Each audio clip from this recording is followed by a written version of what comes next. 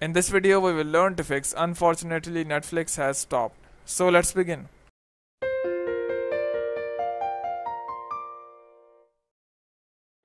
So to fix Netflix error, unfortunately Netflix has stopped working on Android. What we have to do is just go and open your mobile settings. Once your mobile settings are open, just scroll down below and search for apps or application manager. In my case, this is apps. In your case, it might be application manager.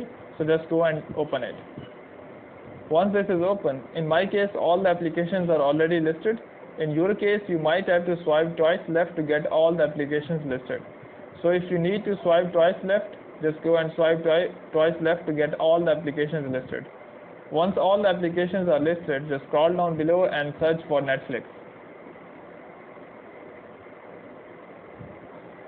Here it is, Netflix. So just go and open Netflix.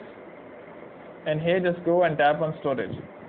And here just go and tap on clear data. Tap OK. Go back. In your case, you might get a clear data option somewhere here. So just go and clear data. Once you have cleared the data, just go and restart your mobile and just go and open your Netflix app.